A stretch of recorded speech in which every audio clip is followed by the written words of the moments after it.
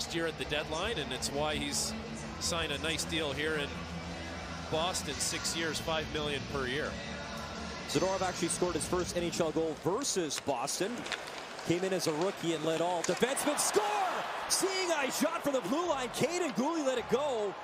Looked to be deflected in front, and Montreal's got life here in the third period. Josh Anderson has the tip, and a big goal for Anderson, his first of the season.